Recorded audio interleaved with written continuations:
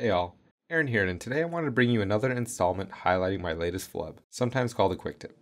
Anyway, the other day I was working with this imported model and I got stuck. When I went to click and drag parts to investigate the construction, nothing would move. No matter if I was selecting a face, a body, a component, a vertex, it didn't matter. As you probably know, working with newly imported models happens without capturing history by default. This is indicated by the absence of the timeline. What I learned the other day is that if you want to move parts of these, what I'll call history impaired models, you need to turn on a specific selection option, component drag. Once that's on, I get the click and drag ability I've come to expect, and as long as I haven't made other subsequent changes, I can just as quickly undo those moves.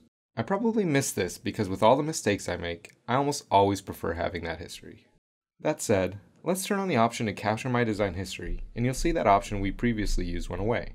But I can still click and move components like I expect. In the history-based design, I have the ability to capture the position or revert the position. Which in my eyes helps explain why you're required to turn on that special component drag option in the first place.